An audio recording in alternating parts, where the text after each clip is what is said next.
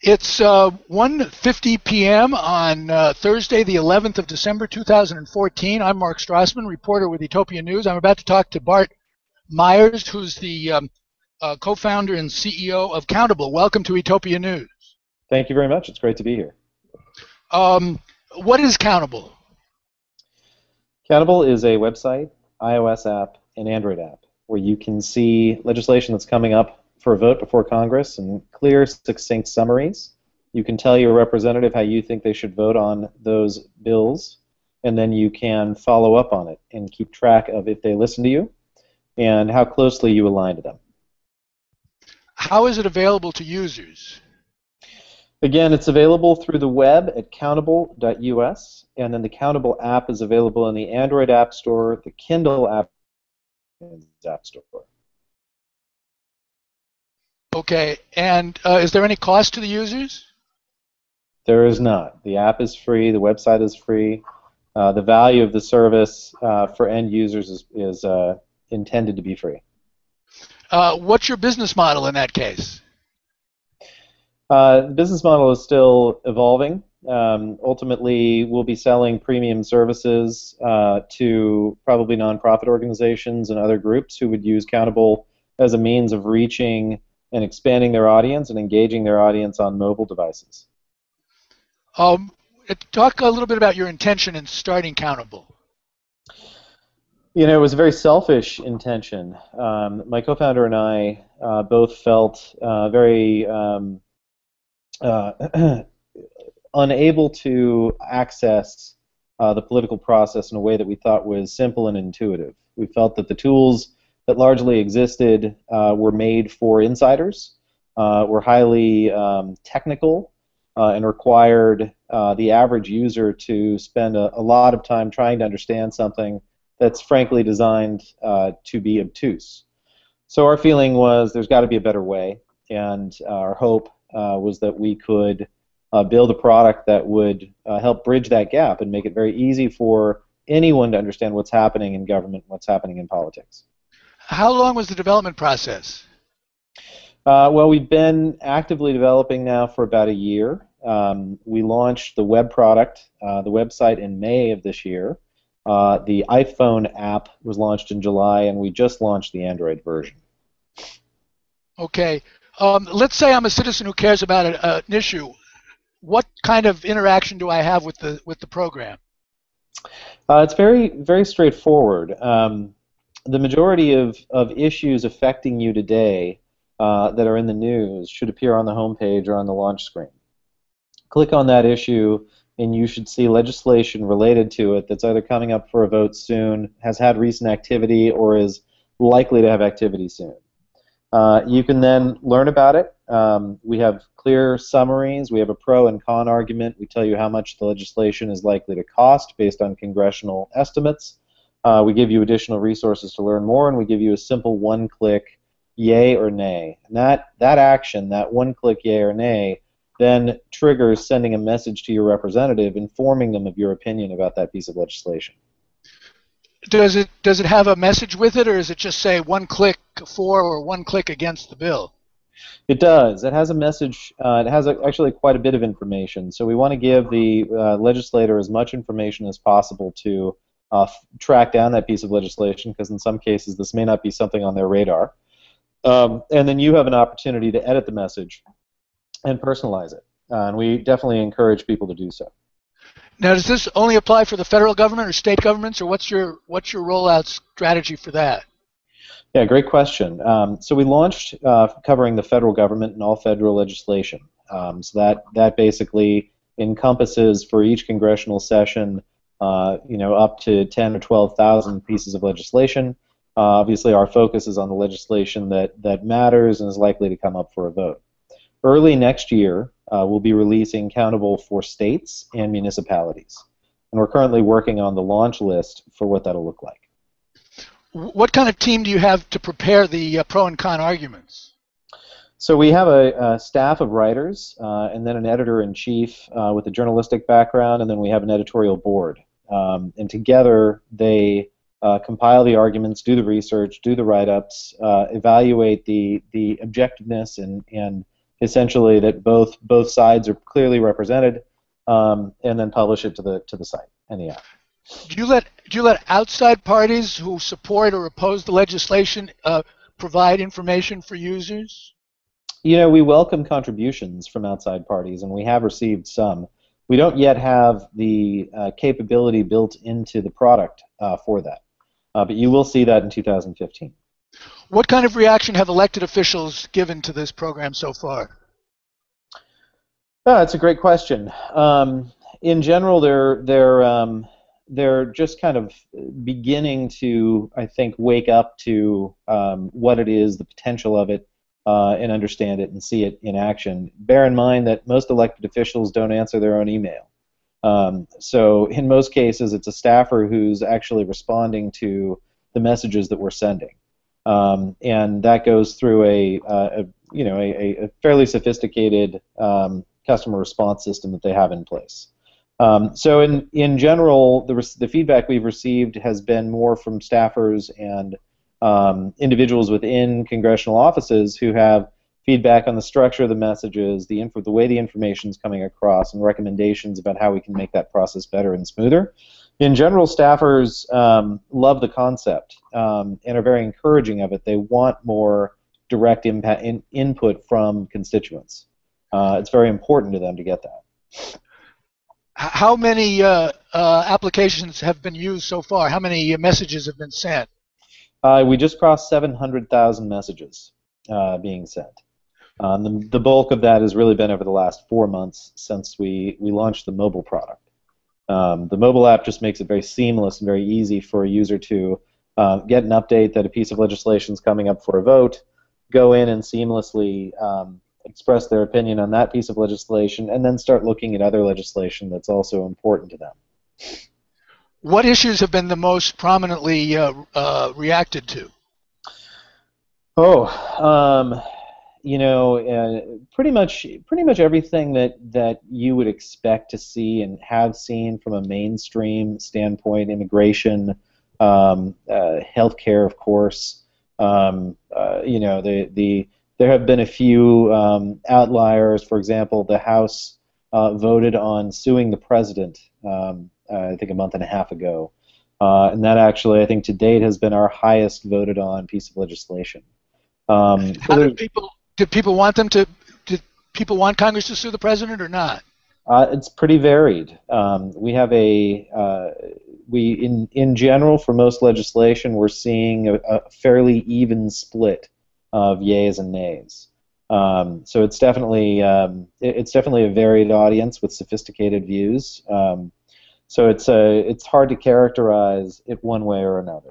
So it sounds like you're getting a cross section of a divided country rather than just uh, uh, input from one one side of the aisle. It does sound that way. I don't know if we can say that yet, um, and I don't know. You know, I, I I'm I, I, personally, my personal thesis is that the country is not as divided as it looks. That most voters are issue-driven voters, and they have particular issues that they're divided about. But there's a lot of things that they agree on: um, safety, uh, great education, um, things of this nature, clear areas of agreement. And there's a lot of legislation that comes up all the time in Congress and at the state level and local level uh, where voters should be aware of the, the impact on those key issues that we all feel strongly about. What impact do you hope uh, Countable will have overall on the political process? Oh, it's got to make people feel empowered. The key is that that, that the average uh, the average American should be able to feel like they can see what's happening in government, um, independent of their satisfaction with how government is doing. They need to be able to have access to that information. That's empowerment. Uh, if we can do that, um, we have we have achieved a, a tremendous win. Uh, and Countable is going to going to you know it's going to be a, a, key, I think, tool, foundation, pillar for kind of a reflowering of democracy. So you see it uh, at least as a tool for education as much as a way of allowing people to express their views on how the elected officials should vote. Definitely, definitely. I mean, it, access to the information, I think, is the number one challenge. Uh, I think um, I, you yeah, can't form an opinion without it. So, what are you gonna say? No, go ahead. I was just saying that you, you, you really can't form a, you know an informed opinion from the information that we're given about legislation. largely it's highly technical, um, very difficult to parse, uh, and and difficult to understand. Let you know let let let um, you know let reporters, journalists, analysts you know translate that for us so that we can get a much clearer sense of what it's about. Now, a lot of people feel that the amount of influence a person has on a legislator is pretty directly uh, uh, related to how much uh, they've contributed to their reelection or election campaign. Yeah. How is Countable going to counteract that if it can? Well, I think it can. Um, you know, I think the the prevailing uh, environment, um, obviously, that's that's going to be challenging, right? The the money in politics um, is not going down; it's going up, uh, and and clearly there is influence that is purchased through that. That being said, um, the byproduct of what Countable is creating is a way for uh, an individual to directly see and and measure if their voice is being listened to by their representatives in a way that was never before doable. In other words, I tell my representative to vote yay on, uh, let's say, Keystone, hypothetically. Uh, right. My representative votes no. Uh, I then get a notification from Countable saying your representative disagreed with you on this. And over time, that builds to essentially a report card of me versus my representative. Um, that's never never existed. Um, we've never had a a simple way for me to evaluate has my representative in fact represented my specific views. Certainly, you can see uh, voter scorecards for large organizations versus a representative, but how does that representative represent me? And that's what we've done. Will that data only be available to the uh, user and the uh, elected official, or are you going to publish information about trends and tendencies and amounts of uh, yay and nay votes on uh, pending legislation? Yeah, definitely. Trends trends are coming. Um, how you know how we roll it out, we're still still figuring out. We've got a few other core capabilities we want to launch first, but um, they're definitely coming to the to the product. What have been your greatest frustrations and satisfactions in doing this work? Yeah, my greatest frustration um, is uh, really just that the um, the the information um, to to get an effective uh, and clear view of what legislation is coming up for a vote and when. Um, uh, you know, you, you have very very short time frames that you have to turn turn this information around. Uh, often you don't know that a bill is coming up for a vote as a user um, for you know the the Friday before the week of the congressional session, which is just ridiculous like if, if Americans are going to be able to have an effective dialogue with their representatives about when a vote's going to happen on legislation, they need more time to process it and give their representatives their viewpoint.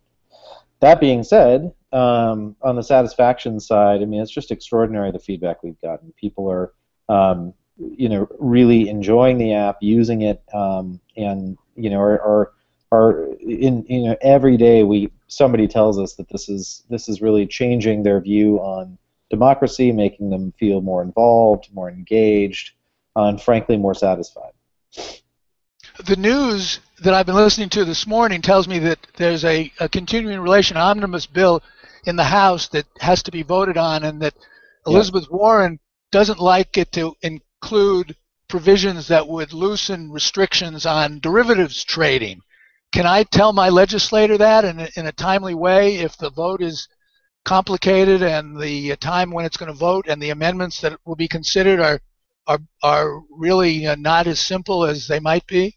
Absolutely. I mean, there, and and you always, um, you know, we we've always had that capability, and I, you know, I think fundamentally, um, you know, that's the one the one area where journalism does a good job is when when there is a major piece of legislation um, that's getting you know a lot of visibility you know, we should have an easy way then to say, hey, all right, where can I go and contact my rep? Countable's the way to do it. But you could certainly call them. You can go to their website. You can email them. Like, there's a lot of different ways you can contact your representative in the event that it's on the news and it's big news and, and you saw what you saw. The challenge is that, that most legislation that's being voted on never makes the news, right? It never gets that write-up. It never gets that soundbite, and you have no idea that it's happening. Uh, but it all affects us. It's all very expensive in many cases um, and you know very important for us to respond to.